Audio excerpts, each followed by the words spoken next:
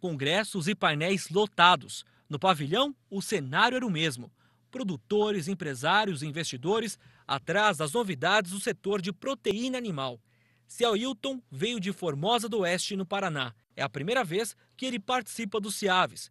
O produtor está otimista com as oportunidades do mercado internacional, mas vê com cautela o cenário atual. Investir tem que investir sempre. Com essa guerra comercial, então está abrindo alguma janela de oportunidade para o nosso frango brasileiro. Então tem que aproveitar, aproveitar esse bom momento, mas também cuidar do nosso consumidor interno aqui. João Gandolfi produz leitão no município de Alvoredo, em Santa Catarina. Ele também veio à feira conferir as novidades. Afinal, o momento é positivo.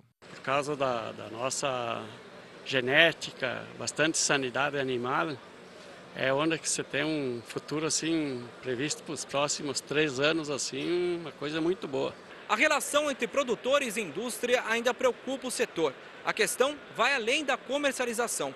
É que muitos consumidores estão atentos aos produtos oferecidos nas gôndolas e exigem melhor valor agregado e informações sobre a origem dos alimentos. Os desafios da demanda atual foram discutidos neste painel. Se hoje a indústria começar a olhar um pouquinho atrás e olhar a origem dos produtos que eles estão comprando, olhar o processo produtivo que é feito até chegar à indústria e o que a indústria está fazendo para chegar até o consumidor, eu acho que seria a grande jogada do momento.